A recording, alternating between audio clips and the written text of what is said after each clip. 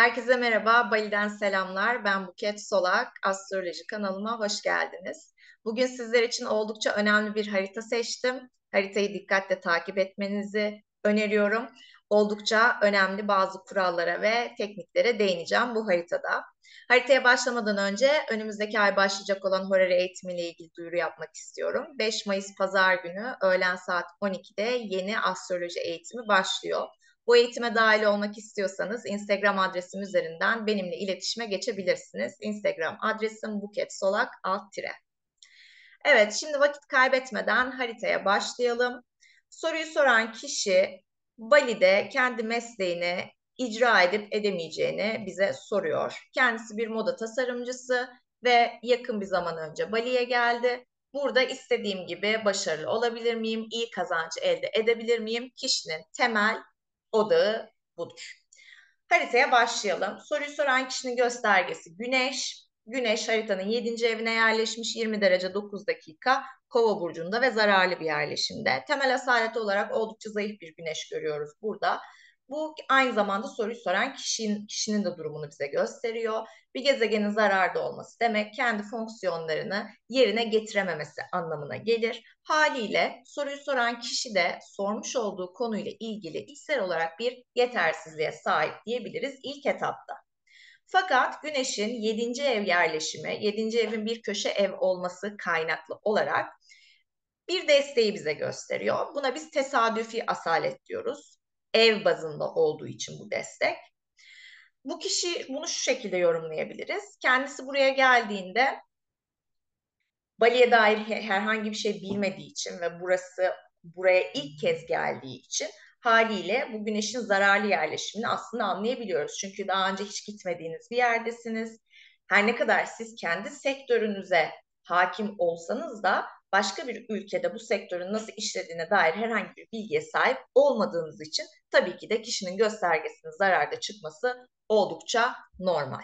Fakat kendisi buraya geldiğinde burada hali hazırda yaşayan Türklerden destek alarak hani nereden neyi alabilirim, kimlerle görüşmeliyim, nerede satabilirim şeklinde stratejik bir destek aldığı için aslında kişinin ev yerleşimi de e, oldukça konuya uygun görünüyor. Çünkü 7. ev köşe bir ev olduğu için dışsal desteği bize gösteriyor. Bakalım bu dışsal destek bu kişinin istediği konuda başarılı olabilmesine yeterli olacak mı? Bunu da birazdan göreceğiz. ASC yöneticisiyle ilgili yorumumuzu yaptıktan sonra kariyer göstergesi olan 10. ev yöneticisine gidiyoruz ve 10. ev yöneticisi Venüs. Venüs 21 derece Oğlak burcunda haritanın 6. evine yerleşmiş. Öncelikle temel esaret olarak baktığımızda bu bir gündüz haritası olduğu için Venüs'ün Oğlak Burcu'nda toprak elementinde üçlü yöneticiliğe sahip olduğunu söyleyebiliriz.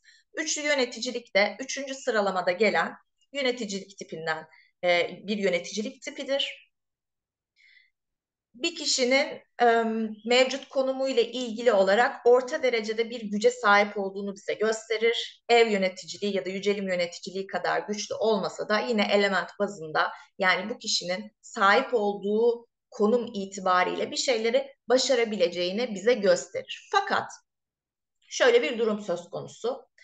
Altıncı evde burada kişiyi e, negatif yönde etkileyen koşullardan bir tanesi. Çünkü altıncı ev hem malefik, ev, malefik bir ev olması sebebiyle hem de özellikle cadent bir ev olması sebebiyle dışsal koşulların kariyer bazında fazla yeterli olmadığını bize gösteriyor. Biliyorsunuz ki bir gezegenin başına gelebilecek en kötü üç şeyden bir tanesi üçüncül bir ev yerleşimiydi. Çünkü bu evlere yerleştiğinde gezegenin aksiyon alma potansiyeli oldukça azalıyordu. Venüs'le ilgili de bu yorumumuzu yaptıktan sonra yardımcı gösterge olan Ay'a gitmemiz gerekiyor. Ay her Horary sorusunda incelenmesi gereken bir gösterge. Hem soruyu soran kişiyi temsil eder hem de konunun gidişat hakkında bize bilgi verir. Ay'a baktığımızda Ay'ın da e, 7. evde olduğunu görüyoruz. 5 derece kuralına göre yani yine köşe bir eve yerleşmiş dışsal bir destek söz konusu. Ancak temel asalet olarak baktığımızda e, ayın peregrin olduğunu söyleyebiliriz. Çünkü ay kova burcunun sadece üçüncü dekanında söz sahibi. Haliyle peregrin bir aydan bahsedebiliriz. Ayın gücü bizim için çok önemli. Hatta eski astrologlara göre ayın iyi yerleşimde olması ASC yöneticisinden yöneticisinin durumundan bile daha önemli. Çünkü ay yeryüzü ve gökyüzü arasında bir modem işlevi gördüğü için enerjileri buraya yansıtarak bir projektör e, görevini üstleniyor ve olayların gerçekleşmesini sağlıyor. Ama peregrinlik bir gezegenin bulunduğu burçta hiçbir söz hakkının olmayışı anlamına geldiği için ayın peregrin olması demek enerjinin akışında da bir belirsizlik olduğunun göstergesi. Nitekim ayın köşe evde bulunması bizim için artı bir puan. Çünkü bazen peregrin gezegenler güçlü evlere yerleştiklerinde üstlerine düşenleri yerine getirebilme fırsatına sahip olabiliyorlar. Bakalım bu ay üzerine düşeni yerine getirebilecek mi? Son olarak açı bağlantılarını incelememiz gerekiyor. Gezegenlerin yapacağı bir sonraki açı bize gelecekte olan olaylar hakkında bilgi verecek. İlk olarak Güneş'in açısına bir bakalım. Baktığımda Güneş'in önünde herhangi bir açının olmadığını görüyorum. Ee, bir gezegen eğer ki herhangi bir gezegenle açı yapmıyorsa haliyle bu konuyla ilgili fazla bir ilerlemede olmayacağını söyleyebiliriz. Çünkü bizim için önemli olan gezegenlerin bir sonraki açıları bu da bize olacak şeyle ilgili bilgi veriyor. Ama soruyu soran kişinin göstergesi güneş zararlı bir yerleşimde ve 10 derece sonra bulunduğu pozisyonu terk edecek ve burç değiştirecek. Fakat önünde herhangi bir açı olmadığı için şu an güneşe bakarak herhangi bir yorum yapmamız mümkün olmuyor. Yani koşulların değişeceğine ya da şu olacak, bu olacak diye bir yorum yapamıyoruz. Çünkü önünde bir açısı yok. 10. ev yöneticisine bir bakalım. 10. ev yöneticisinin önünde herhangi bir açı var mı diye baktığımızda ise Venüs'ün ilk açısının 26 derece 1 dakika balık burcunda olan 8. eve yerleşmiş olan Neptün'le sekstil olduğunu görüyoruz. Neptün hem belirsizlikle bazen hayal kırıklıklarıyla bazen de beklediğimiz şeylerin tam olarak bizim istediğimiz gibi gerçekleşmemesiyle alakalı olabiliyor. Çünkü Neptün hayaller, beklentiler, evet bir şeyler var havada ama tam olarak bunları topraklandıramadığımız ya da biz başka bir şey düşünürken önümüze başka bir şeyin gelmesi. Neptün olduğu alan oldukça sisli bir alan. Orada biz net olarak, belirgin olarak bir şeyleri göremiyoruz. Bu biraz böyle bir dağılma enerjisi veriyor.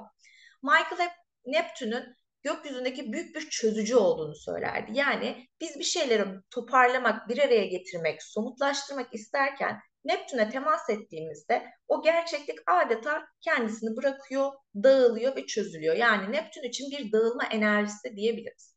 Haliyle böyle bir kariyer sorusunda ilgili göstergenin Neptün'le seksile gidiyor olması açı tipi sekstil olsa bile Neptün Neptündür. Bizim için çok artıya işaret değil.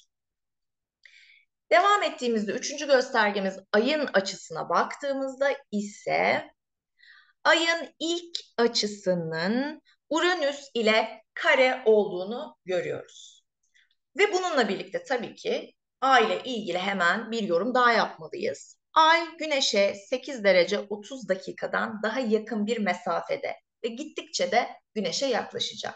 Bunun astrolojideki karşılığı combustion'dır. Yani gezegenin yanması. Gezegenin yanması ki burada özellikle aydan bahsediyoruz. Yanması durumu bizim için oldukça negatif işaret. Çünkü güneşe bu denli yaklaşan gezegenlerin ışığı kayboluyor. Yani görünürlüklerini, vasıflarını yitiriyorlar. Bir gezegenin başına gelebilecek en kötü üç şeyden bir tanesi de gezegenin yanık olması. Bu noktada da yine soruyu soran kişinin dezavantajlı olduğunu görüyoruz. Hem kendi göstergesi güneşin zararlı yerleşimi hem ayın yan, yanık olma pozisyonu, kariyer göstergesinin cadent olma pozisyonu. Yani e, konuyla ilgili çok avantajlı olduğunu söyleyemeyeceğim. Bununla birlikte ayın Uranüs açısı hakkında konuşmamız gerekirse Uranüs yön ve yol değişimlerini anlatıyor. Bu kişi şu an burayla ilgili bir plan yapıyor olabilir fakat Uranüs'te yapacağı bu sert açı ve Uranüs'ün aynı zamanda 10. evde yer alması 5 derece kuralına göre burada bir değişimin olacağını bize gösteriyor. Yani sen şu an buna yönelik bir plan yapıyorsun ve bununla ilgili bir soru soruyorsun ve bu konuyla ilgili belirli beklentilerin var. Fakat yaklaşan zaman içerisinde bir anda şartlar, koşullar, senin isteklerin, beklentilerin her şey ani bir şekilde değişebilir. Sen şu an burada olmayı beklerken bambaşka bir şey yapıyor olabilirsin, bambaşka bir yerde olabilirsin. Haliyle şu anki sürece fazla güvenemezsin diyor harita bize. Evet, bu haritanın sonucu bu şekilde. Ee, ben de zaten kendisiyle bunları paylaştım ve şu oldu. Ee, bu soru 9 Şubat'ta sorulmuş. Ee, şu an biz 12 Nisan'dayız. Ee, geçtiğimiz hafta bu soruyu soran kişi başka bir e, ülkeye geçiş yaptı. Yani şu anda bu konuyu kapattı. Gördüğünüz gibi Uranüsyen bir değişim söz konusu oldu. Ee, biz bunları bu harita ile ilgili yorum yaptığımızda, görüştüğümüzde kişinin tamamen odağı Bali'deydi. Yani başka bir gündemi yoktu. Ee, olsa bile sonrasında düşünüyordu. Ee, ancak gördüğünüz gibi e, hem ayın yanıklığı, buradaki durumun biraz yetersiz olması, kişinin çok fazla buraya belki de adapte olamaması sonucunda ani bir kararla kişi bu gündemi değiştirerek başka bir ülkeye geçiş yaptı. Evet, umarım haritayı faydalı bulmuşsunuzdur. Bu gibi videoların devamı gelecek. Ee, bunları izlemek istiyorsanız kanala abone olmayı unutmayın.